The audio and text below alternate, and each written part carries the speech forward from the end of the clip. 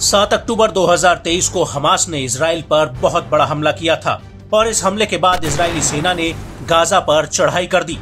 लेकिन इसराइल को इस बात का एहसास नहीं था कि हमास पर हमला करना उसके ऊपर इतना भारी पड़ेगा। क्योंकि अब इसराइल दो मोर्चों पर युद्ध लड़ रहा है। एक तरफ़, जहाँ इसराइली फौज गाजा में तबाही मचा रही है, वहीं दूसरी तरफ़, उत्तरी इसराइल बॉर्डर पर इसराइली डिफेंस फोर्स को हिजबुल्ला को रोकने में कड़ी मशक्कत करनी पड़ रही है। क्योंकि लेबनान बॉर्डर से हिजबुल्ला लगातार इसराइल पर ड्रोन और रॉकेट हमले कर रहा है। और इसी कड़ी में अब हिजबुल्ला ने इसराइली सैन्य अड्डों पर हैवी कैलिबर बुरकान मिसाइल से हमला किया है। इसको लेकर लेबनान के न्यूज़ चैनल अल मयादीन ने हिजबुल्ला के बयान के हवाले से कहा कि हिजबुल्ला ने जल अल अलाम बेस पर इजरायली सेना पर हैवी कैलिबर बुरकन मिसाइल से हमला किया है।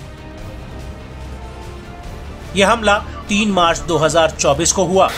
लेबनान मीडिया हाउस का कहना है कि इस हमले में इजरायली सेना को सैनिकों का भारी नुकसान हुआ है।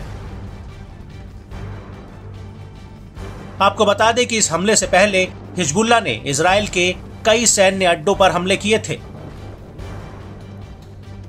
हिजबुल्ला ने इजरायली बॉर्डर पर आईडीएफ की नई सैन्य कमांड और कंट्रोल सेंटर पर हमला किया। यह आईडीएफ की 300वीं टेरिटोरियल ब्रिगेड का सैन्य अड्डा था।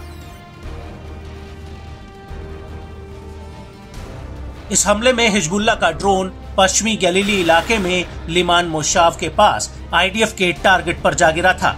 इसके अलावा हिजबुल्ला के लड़ाकों ने इजरायली सेना के जमावड़े पर भी जल अल अलाम मिलिट्री बेस पर हमला किया था, जिसमें इसराइल के कई सैनिक घायल हुए थे।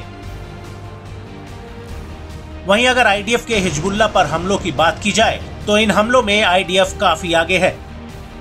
सात अक्टूबर 2023 के हमलों के बाद से अभी तक इजरायली हमलों में हिजबुल्ला के 171 से ज़्यादा लड़ाके मारे गए हैं। इसमें हिजबुल्ला के कई बड़े कमांडरों का नाम भी शामिल है। इसके अलावा आईडीएफ ने अपनी एयर स्ट्राइक में लेबनान में घुसकर हमास के कई बड़े कमांडरों को मार गिराया है। इनमें सबसे बड़ा नाम हमास के पॉलिटिकल ब्यूरो के चीफ साले अल अरौरी का आता है, जिसे इजरायली सेना ने 3 जनवरी 2024 को लेबनान की राजधानी बेरूत में मार गिराया था।